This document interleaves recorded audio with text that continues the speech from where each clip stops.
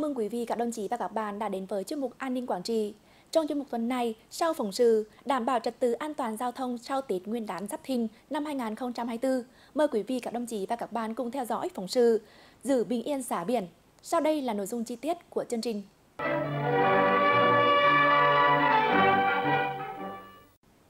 Thưa quý vị, các đồng chí và các bạn, sau kỳ nghỉ Tết Nguyên đán Giáp Thìn năm 2024, tình hình trật tự an toàn giao thông có những diễn biến phức tạp. Nguyên nhân một phần là do nhu cầu đi lại của người dân tăng cao. Lực lượng cảnh sát giao thông công an tỉnh Quảng Trị đã tăng cường các hoạt động tuần tra, kiểm soát nhằm đảm bảo cho nhân dân tham gia giao thông được thuận lợi, an toàn với mục tiêu an toàn giao thông là hạnh phúc của mọi người, mọi nhà. Trên tuyến quốc lộ 1A đi qua địa bàn tỉnh Quảng Trị những ngày sau Tết Nguyên đán Giáp Thìn 2024, lượng phương tiện đi vào các tỉnh phía Nam gia tăng đột biến, trong đó phần lớn là xe khách và xe ô tô cá nhân. Bám sát chỉ đạo của Cục Cảnh sát Giao thông Bộ Công an và lãnh đạo Công an tỉnh, Phòng Cảnh sát Giao thông Công an tỉnh đã huy động 100% lực lượng tuần tra kiểm soát 24 trên 24 giờ trên tuyến, tập trung tại các tuyến trọng điểm, các địa bàn thường xuyên xảy ra tai nạn giao thông.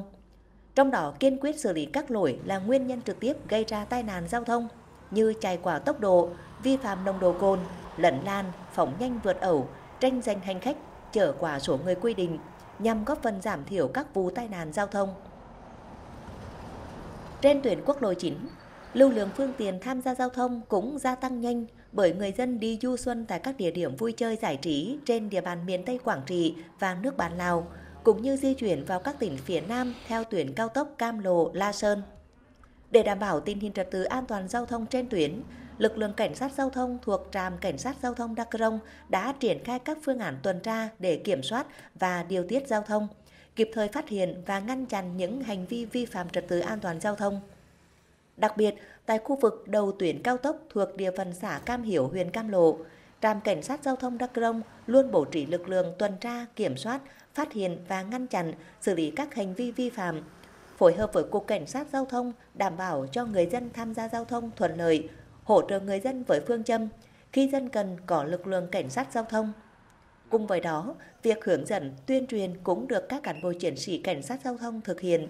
Nhờ vậy, tình hình trật tự an toàn giao thông luôn được bảo đảm thông suốt. Là người điều khiển phương tiện trên tuyến quốc lộ 9 này, tôi à, luôn à, được tôi được à, sự tuyên truyền của lực lượng cảnh sát giao thông nên tôi luôn chấp hành đúng các quy định về à, luật an toàn giao thông đường bộ như à, không không sử dụng rượu bia khi lái xe và chạy đúng làn đường đúng tốc độ của quy định. Trong thời gian vừa qua thì à, chúng tôi đã tăng cường tăng kiểm soát, đặc biệt là trong cái dịp sau Tết thì lưu lượng phương tiện lại tiếp tục tăng. Vì vậy, cái lực lượng cảnh sát giao thông à, của công an tỉnh Quảng Trị trong đó là trạm cảnh sát giao thông Đắk Đông đã tăng cường lực lượng phương tiện tổ chức tuần tra kiểm soát trên tuyến kết nối à, vào đường cao tốc đoạn à, thuộc địa phận Cam Hiếu, Cam Lộ Quảng Trị. Vì vậy, à, trong thời gian vừa qua thì à, thì tai nạn giao thông đã được à, kiềm chế. Với quyết tâm kéo giảm tai nạn giao thông trên cả ba tiêu chí về số vụ, số người chết và số người bị thương, trong dịp Tết và sau Tết Nguyên đán Giáp Thìn 2024, lực lượng cảnh sát giao thông công an Quảng Trị đã tăng cường 100% cán bộ chiến sĩ tham gia thực hiện nhiệm vụ 24 trên 24 giờ với tinh thần xuyên những ngày Tết. Tổ chức chốt kiểm tra tại các điểm tiềm ẩn nguy cơ phức tạp về trật tự an toàn giao thông, Đặc biệt, lực lượng cảnh sát giao thông tập trung lực lượng xử lý nghiêm lỗi vi phạm có nồng độ cồn khi điều khiển phương tiện, kiên quyết xử phạt hành chính, không có vùng cấm, không có ngoại lệ đối với đối tượng vi phạm, góp phần hình thành văn hóa đã uống rượu bia, không lái xe, đã và đang tạo hiệu ứng lan tỏa tích cực được dư luận đồng tình ủng hộ. Với phương châm là à, xây dựng văn hóa giao thông an toàn và là bền vững à, đặt người dân là trung tâm và là đảm bảo an toàn cho người dân trong thời gian vừa qua thì à, trên địa bàn huyện là về là trật tự an toàn giao thông là cơ bản là ổn định. Tai nạn giao thông là không xảy ra. À, phục vụ là người dân là trên địa bàn là ờ, vui xuân đón tết là đảm bảo. Mặc dù lượng người và phương tiện tham gia giao thông tăng cao, cường độ làm việc vất vả, nhưng mỗi cán bộ chiến sĩ cảnh sát giao thông luôn nêu cao tinh thần trách nhiệm, miệt mài bám trụ trên các tuyến đường để điều tiết giao thông, bảo đảm trật tự an toàn giao thông thông suốt, an toàn vì sự bình yên và hạnh phúc của nhân dân.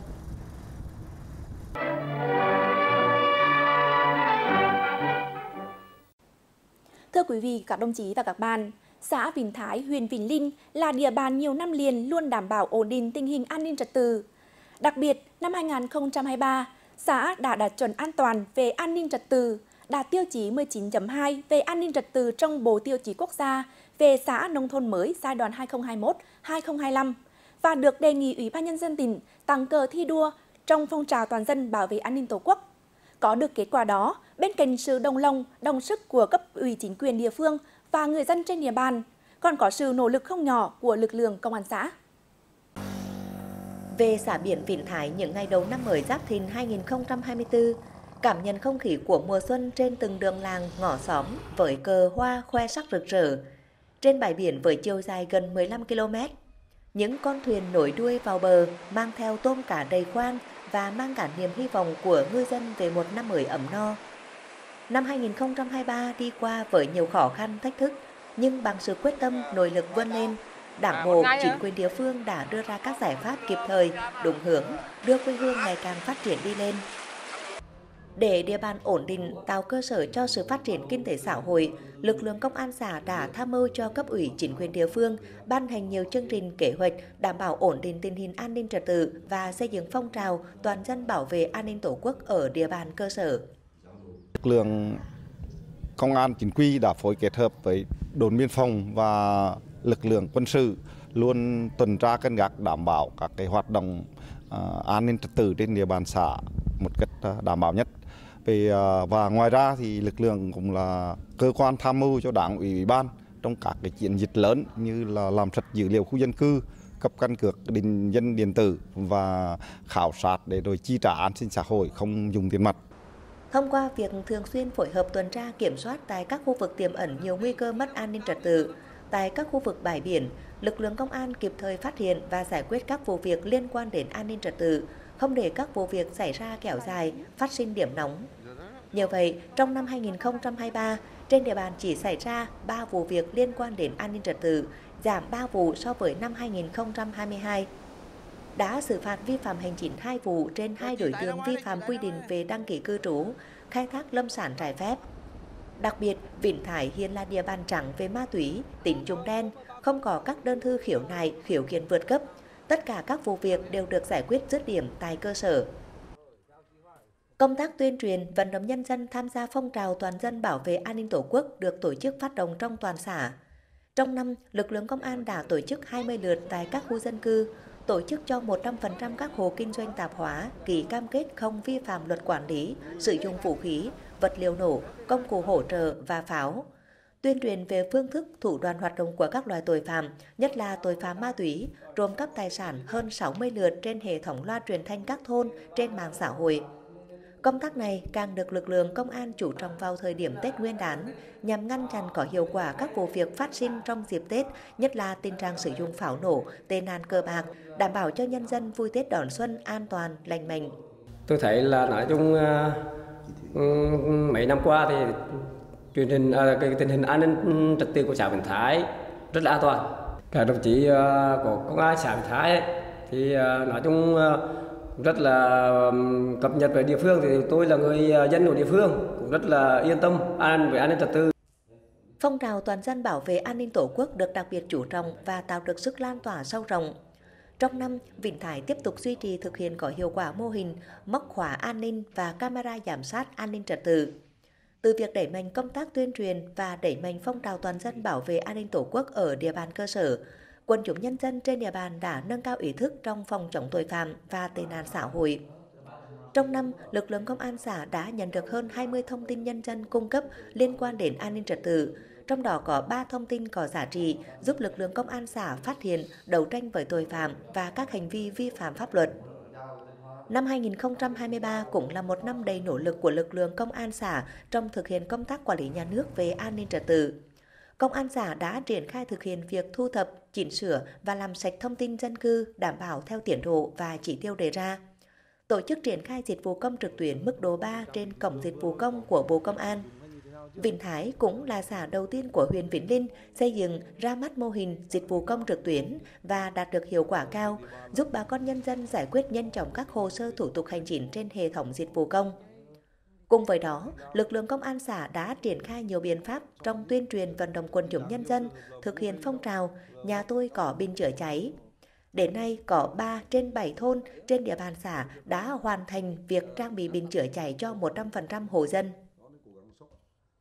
Trong năm 2024 thì ngoài cái, các cái, cái vấn đề đã làm được rồi á, thì chúng tôi cũng chú trọng vào cái uh, ban chỉ đạo 138 1523 tham mưu uh, tích cực cho đồng chí chủ tịch xã để uh, kiện toàn là cái bộ máy này và đồng thời là duy trì cái chế độ giao ban hàng quý uh,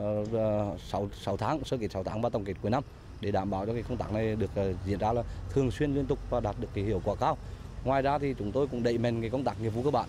đó nắm tin hình nắm chắc địa bàn để à, điều tra cơ bản các cái tuyến lĩnh vực trên địa bàn để làm tổ cái công tác à, thông qua công tác điều tra cơ bản và thông qua cái nghiệp vụ cơ bản ấy, chúng tôi tiếp cận và nắm được các cái đối tượng một cách nhanh chóng kịp thời để xử lý triệt để không để cho các cái đối tượng manh động xảy ra tại địa bàn. Sự nỗ lực của cán bộ chiến sĩ công an xã Vĩnh Thái trong thực hiện nhiệm vụ đảm bảo an ninh trật tự địa bàn được cấp ủy đảng, chính quyền địa phương ghi nhận, quân chúng nhân dân tin tưởng, ủng hộ. Chuyên mục An ninh Quảng Trị đến đây xin tạm dừng. Cảm ơn sự quan tâm theo dõi của quý vị và các đồng chí. Xin chào tạm biệt và hẹn gặp lại.